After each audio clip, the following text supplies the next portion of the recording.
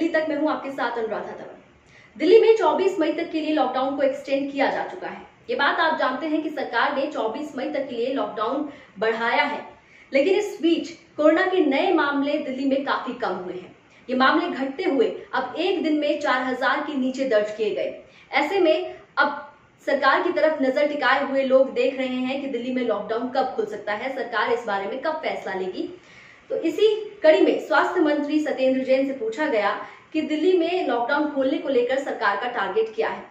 स्वास्थ्य मंत्री सत्येंद्र जैन ने कहा कि जिस तरह से मामलों में काफ़ी कमी आई है और पॉजिटिविटी दर अब छह के करीब पहुँची है, ऐसे में उम्मीद की जा रही है कि जब ये पॉजिटिविटी दर दो के करीब पहुंचेगी, तब सरकार इस बारे में सोच सकती है। हालाँकि उन्होंने कहा कि फ़िलहाल उनका टारगेट है कि दिल्ली में ज़ीरो केसेस हो और ज़ीरो ही पॉजिटिविटी दर हो। दिल्ली के अंदर लॉकडाउन जब से लगा है और पिछले 24 अप्रैल से ही लगभग केसेस धीरे धीरे धीरे कम हो रहे हैं और, अब घटते हुए आंकड़ा जो कि पहले अट्ठाईस हज़ार से एक दिन में पहुँच गया था, अब वो छः हज़ार के नीचे होते होते चार हज़ार के पास पहुँच गया है। काफ़ी बेटर है पहले से। टारगेट मिनिमम फाइव परसेंट तो होता ही है। फाइव परसेंट से नीचे तो मतलब ऊपर तो बहुत ही ज़्यादा माना जाता है। अभी हम छः परसेंट के आसपास हैं। टारगेट हमारा ये होना चाहिए कि दो परसेंट तक दिल्ली पहुँच जाए। जल्दी तो सर वही अर्थ वही है कि अगर टारगेट दो परसेंट का है तो अगर दो परसेंट मेरा टारगेट तो ज़ीरो हाँ। कि दिल्ली के अंदर एक भी केस ना रहे। हाँ। दिल्ली में सारे केस खत्म हो जाए जल्द से जल्द। तो स्वास्थ्य मंत्री सत्येंद्र जैन का बयान आपने सुना। अभी फ़िलहाल सरकार पॉजिटिविटी दर के घटने का इंतज़ार कर रही है।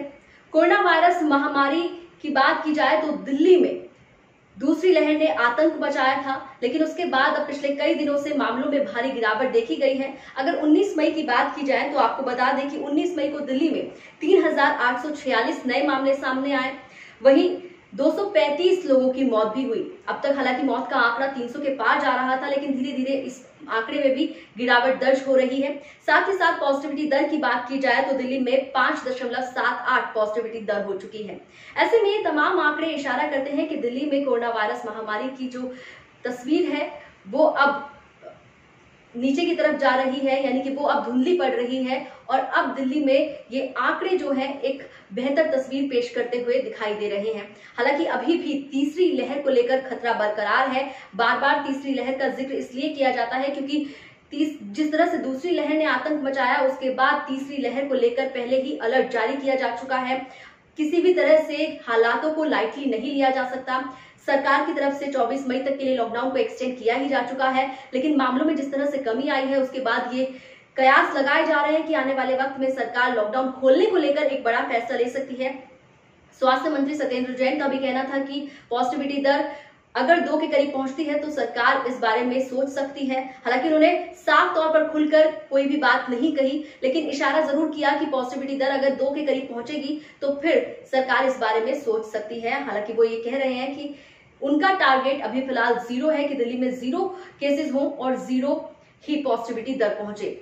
लेकिन अगर बात की जाए मौजूदा हालात की तो मौजूदा हालात में अब दिल्ली में अस्पतालों में कोरोना वायरस के मरीजों की बात करें तो उनके एडमिशन कम हो रहे हैं और डिस्चार्ज केसेस अब ज़्यादा हो रहे हैं। रिकवरी रेट में भी काफ़ी सुधार हुआ है। ऐसे में उम्मीद यही की जा रही है कि दिल्ली में जल्द से जल्द कोरोना को मात मिले और दिल्ली कोरोना मुक्त हो जाए।